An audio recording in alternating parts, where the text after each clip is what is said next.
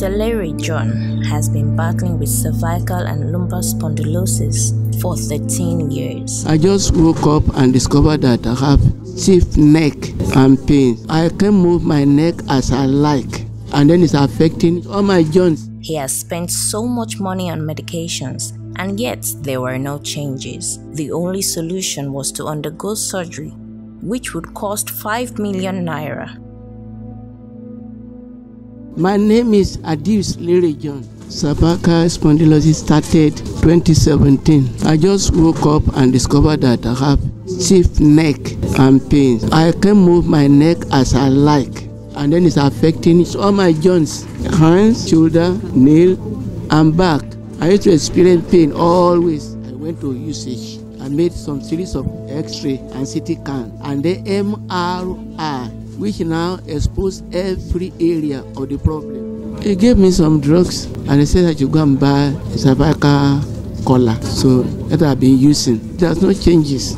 Even the test I did for this MR is 90,800 for only test. Not money the drug every time I it's uncountable. Run run to millions. And then I was told that that operation I will do is 4.499 million if I have no funding to pay. And that's why I come to the God of uh, Adetuberu to do it for me. He came to Faith and Miracle International Church seeking divine healing from God. The man of God, Senior Prophet GF Adetuberu, walked up to Mr. Leary and prayed for him. Touch your screen in faith viewers all over the world.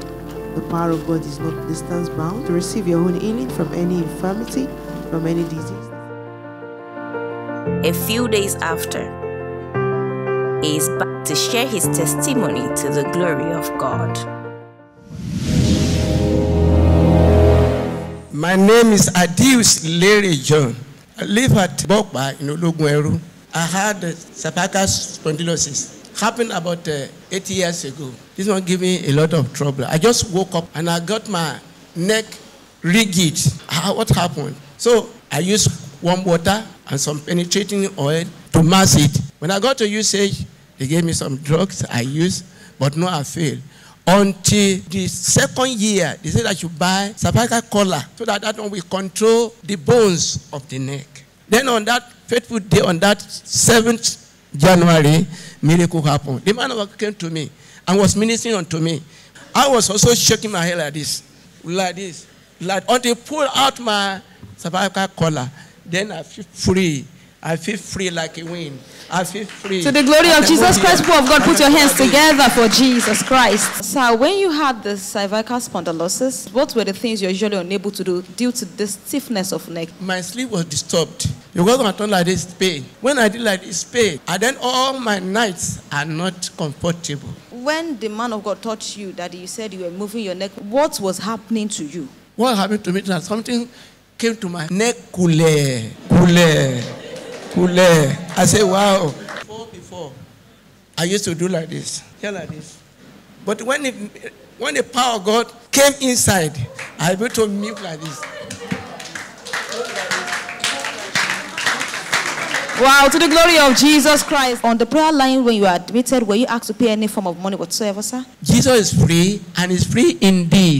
And oh, what of the water of mercy? where you have to pay for it too, sir? No, free of charge. What word of advice do you have for everyone that are passing through one ailment or the other that has been lingering in their lives for the past years? When you be patient, wait on the Lord, hold on to your faith, and see that this man of God is really man of God and believe in him.